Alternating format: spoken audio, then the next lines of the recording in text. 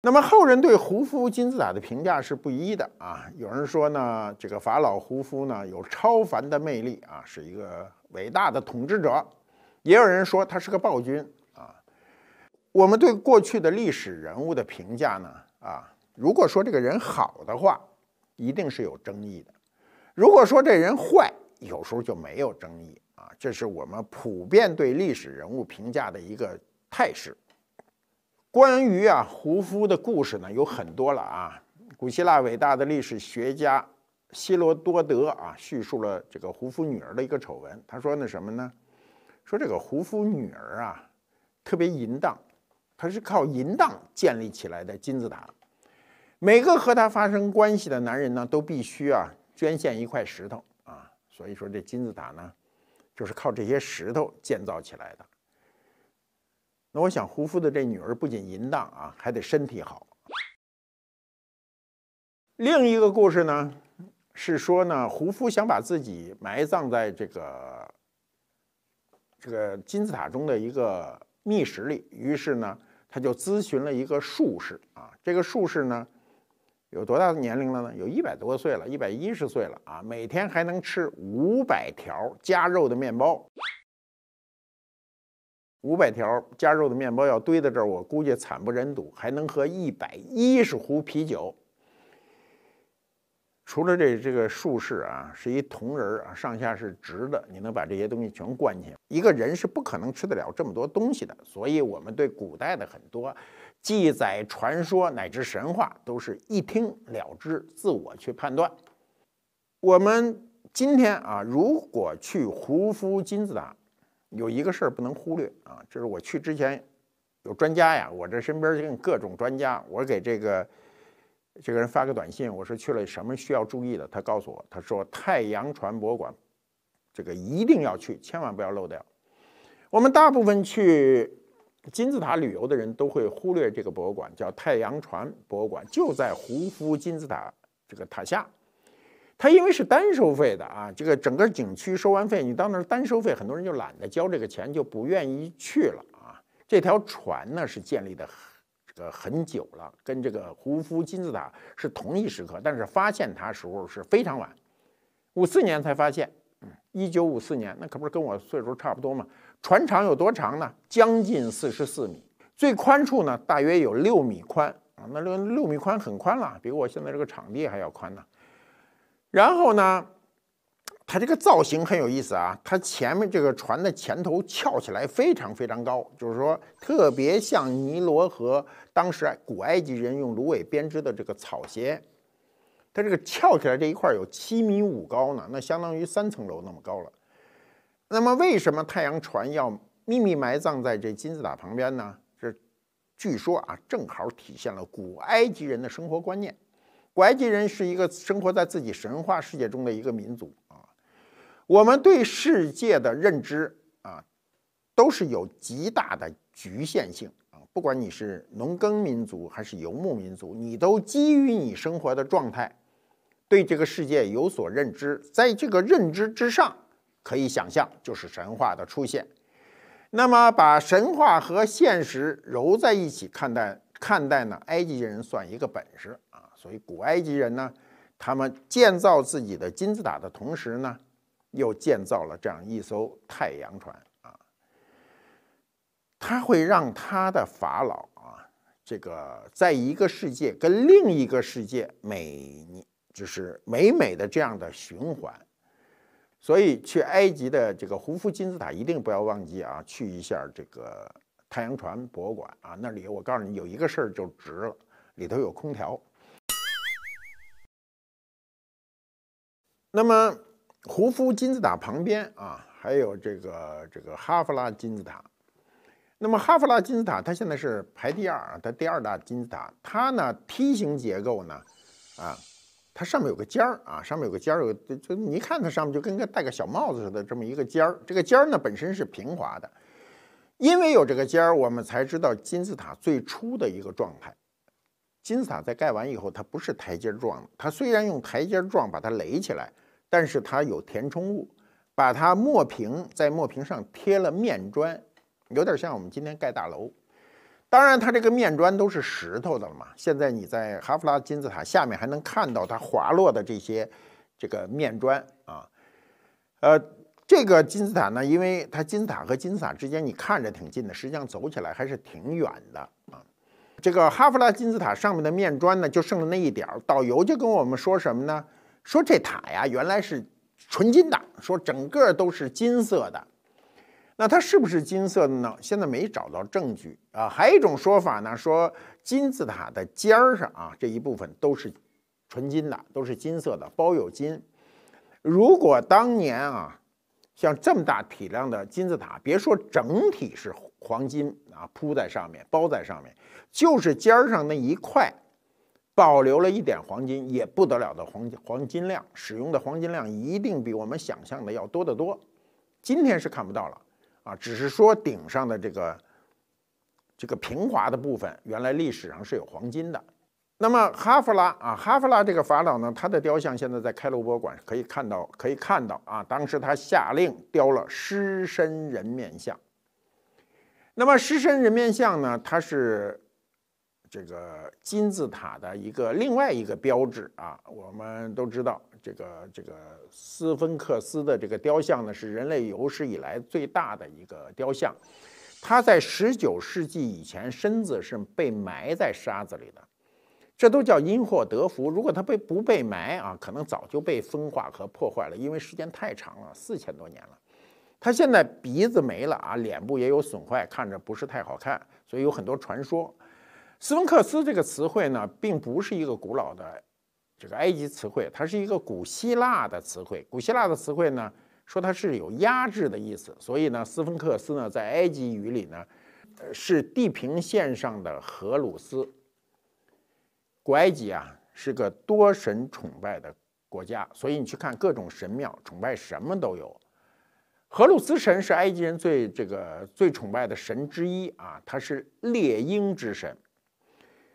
呃，我看了看埃及的各种神啊，它主要是对比较孔武有力的动物或者迅猛的动物都有崇拜这个之一，比如鹰，比如鳄鱼，比如狮子啊，他都认为这些都是神，所以他要崇拜它。那么埃及的统治者呢，常常就把自己呢跟这个荷鲁斯、跟这个鹰神呢联系起来啊，就是把自己赋予一种鹰的力量。鹰呢不仅有力量。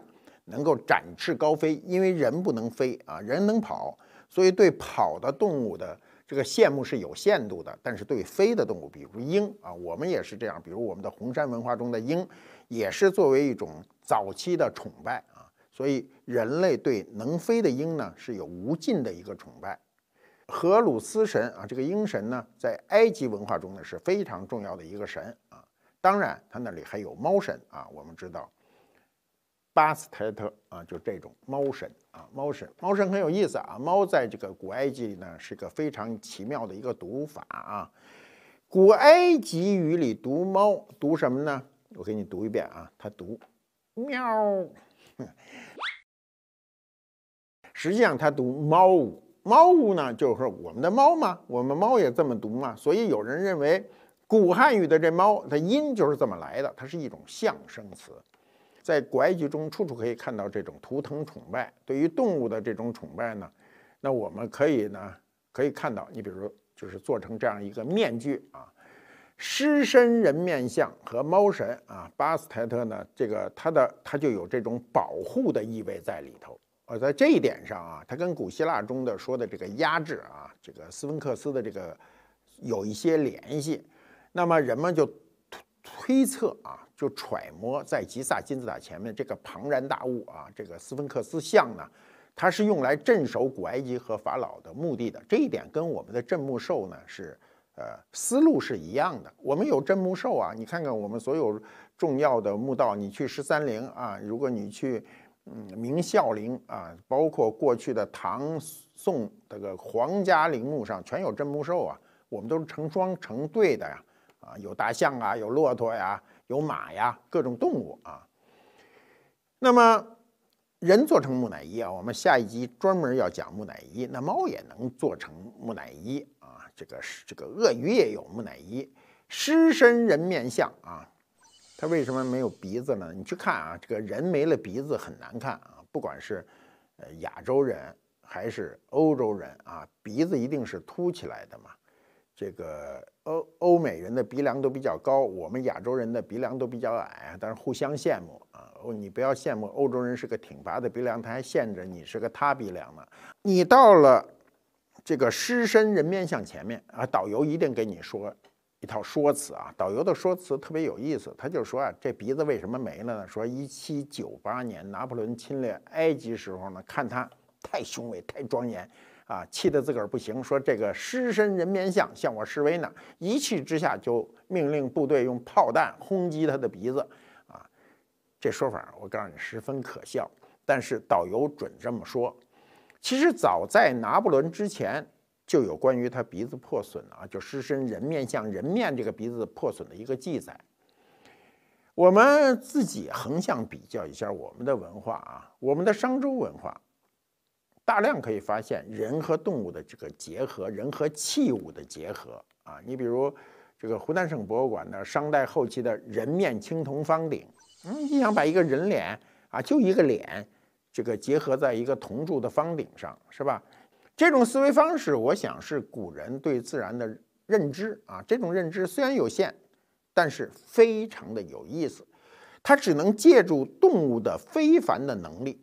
动物有很多能力比我们强，比如它比我们敏感，比我们奔跑速度快，比我们有力气，比我们能飞等等，它都会把这些优点跟人的这种理想结合在一起。所以，埃及的这个狮身人面像，狮子。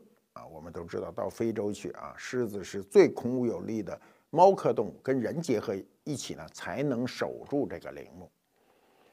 那么你到这个埃及啊，看见金字塔以后呢，你肯定会跟另外一件东西联系起来，这件东西就叫方尖碑。方尖碑啊，它也是一个锥体，它尤其到了最上面肩部这一部分呢，跟金字塔是一个模样子，就是一个。这个四面的一个角形的锥体。那么，除了金字塔啊，是埃及古代的一个最著名的象征，其实方尖碑也是啊。方尖碑，一提方尖碑，你在全世界任何地方看到方尖碑以后，它都是来最初来自于埃及。呃，方尖碑啊。这个我们现在在埃及能看到的数量存着的不是特多，大概不到十座啊。方尖碑呢，这个它的比例啊，它是有一定的比例的啊。这个有这个专家都测过它，它大约是在就是粗细这个比例都是十分之一或者九分之一。身上呢都刻有象形文字啊，我们去的有人明白，还告诉你这是什么意思，那是哪个法老的名字啊？有人还居然能念出来，我这个觉得这些人都是不得了的人啊，我们全都不认的。那么方尖碑呢，它最大的特征是什么呢？它是用一块整石头雕的。你在埃及看到的方尖碑呢，它都是整石头雕的，不管多大。多小，它都是整石头。当然也会看到一些残的，比如横躺在那儿的。呃，方尖碑呢，通常都放在神殿里头啊，也是左右对称的啊。但据说呢，也有放在私人的啊墓道旁边。那从新王朝时期开始呢，方尖碑呢就常常成双成对的放在了神殿的门口，它就是一个纪念碑。上面的象形文字就刻着法老的功绩啊。由于方尖碑呢是埃及最重要的文物，你不管它体量有多大啊，它在近代啊各资本主义强国啊都觊觎它这碑，所以呢有的碑就被运走了。现在埃及剩下据说还有五个方尖碑啊，我这次好像都看见了啊。那么剩下的方尖碑都在哪儿呢？在世界各地啊，比如法国的方尖碑，在法国的协和广场啊非常有名。它什么时候被掠夺走的呢？是。一八三六年，这个这座方尖碑呢，它本身在埃及呢是在卢克索神庙前面，现在还剩了一个，所以导游一定给你讲这是剩下那个，那个就被法国人给弄走了。这个方尖碑这个有多高呢？有二十三米啊，二十三米是很高。重量有多重呢？有二百三十吨重，是由一块整石头，红色的那种花岗岩雕刻出来的，上面这个铺满了这个刻满了埃及的象形文字。那内容一定是这个歌功颂德，这不用问啊，赞颂法老啊，拉美西斯二世啊，就他的丰功伟绩。方尖碑的基座上呢，记载着。当时，这个从埃及运到法国的一个艰难的过程，这是在法国啊，你可以看，当时这个东西呢，发现它以后呢，他们就首先要要这个建这个运输工具啊。我们今天的船是很大了，最大的船一定是航空母舰啊，啊，运这个没有问题啊，你二百三十吨搁上去也行啊。当时不行，当时没这么大船，怎么办呢？先造船。啊，光这个船呢，就造了那么好好多年啊。然后呢，造好船以后，把它想办法运到船上呢。经过三年时间，经过尼罗河、地中海、大西洋、塞纳河，又用了三年时间才矗立在这个协和广场正中。嗯这石头真够大的啊，二百三十吨。你们想想，二百三十吨要把它从埃及运到法国去，中间要经历多少艰难困苦？那么有没有比它更大的碑呢？有，啊，在哪儿呢？在中国，在中国哪儿呢？在中国的南京啊！大家有机会如果去南京啊，除了中山陵、南京博物院看完了，还有时间的话，一定要去南京郊区的阳山，啊，一打听阳山碑材，你就会看到了这个碑有多大。这个碑呢，是当年啊，永乐皇帝。为他爹啊，洪武想立的一块碑，这个碑长呢有七十八米。我刚才讲，运到法国的方尖碑只有二十三米，它有它大概三倍多高，那它显然就要粗出去。它重量有多多少呢？重量经过计算呢，超过了三万吨，是方尖碑的一百多倍。所以这个碑呢，当年凿完了立不起来。不是当年立不起来，今天也立不起来。所以，我们看到这个方尖碑啊，你看到方尖碑的时候，你看它的如此的壮观。你如果去了阳山啊，南京郊区的阳山，看了阳山碑材以后，你才会发现那方尖碑就没多大。那除了法国的这个协和广场的这个方尖碑呢，在你就比如在梵蒂冈也有啊，在美国华盛顿也有。美国华盛顿的方尖碑是按照方尖碑的形式建立的，它不是一块整石头，它是砌的啊。这个它非常的高，它有多高呢？有一百六十九米，它不可能是一块整石头。一百六十九米，后来呢，华盛顿特区呢就有一个明文规定，以后在这个区域建的所有的建筑不得超过它的。高度，这个是一八五四年开始建立的，建立了一段时间以后呢，它南北战争就打起来了，然后呢，这个大这个方尖碑就停止了建设。你今天去看，它上下两个颜色是不一样的，它中间相隔了二十二年啊，二十二年又重新去，这这个重新启动继续建设的这个这个工程啊，这前前后后拉了几十年才把这个方尖碑建成。去华盛顿的时候呢，远远的就可以看见方尖碑，看到美国人，那也美国人在设计这个碑的样子上呢，没太多的想法，他就按照方尖碑的这个样子去建的，只不过建的超大。我们新中国建立以后呢，要在天安门广场上要为我们为新中国这个建这个建立啊，呃，牺牲的很多英雄们要建一个碑，所以这就是我们知道的中国人民这个英雄纪念碑。这个碑呢，据说最初的时候也有人提出就按方尖碑的样子建呗，但是中国人还是有想法的，希望我们有自己的文化，有我们自己的碑型，所以就建成了今天中华人民共和国啊，这个为我们的革命烈士建这个建设的这个纪念碑呢，是有一个独特的形象的。它的通高有多高呢？有大约三十八米高啊，那就是比法国掠走的那个方尖碑要高出十多米去。嗯，你要跟美国那个。呃，华盛顿碑比较起来就没有那么大啊。这个碑呢，每年的时候呢，我们到了这个重大节日的时候，都会有呃国家领导人呐，我们的老百姓呢去凭吊我们自己的先烈啊。这个当时这个碑建好以后呢，呃，毛泽东主席亲笔书写了“呃，人民英雄永垂不朽”这个八个大字啊。今天啊，在正面你可以看到这八个贴着金箔的大字，背面的碑文呢是由毛泽东主席起草，周恩来总理书写的。这个碑文啊，我们去的时候过去都念啊，就是三年以来、三十年以来，由此上溯到一千八百四十年以来的英雄们啊，我们永垂不朽等，大概是这样一个文字。我们到了这个埃及以后啊，看胡夫金字塔肯定是必然的一个项目啊，不可能你到了埃及首都开罗以后呢，你不去看啊，那么。一般中国的旅游团啊，我们今天呢，个人去的机会不太多啊，跟着旅游团的机会比较多。因为我跟很很多个旅游团的那个游客聊天，我说你为什么不自自由行啊？他说因为埃及这个地方还是不是太了解情况，跟着团呢相对都比较安全，所以我们的旅游团安排的最后一站往往都是亚历山大的这个。这个这座城市去看看庞贝柱啊，亚历山大是埃及的第二大城市。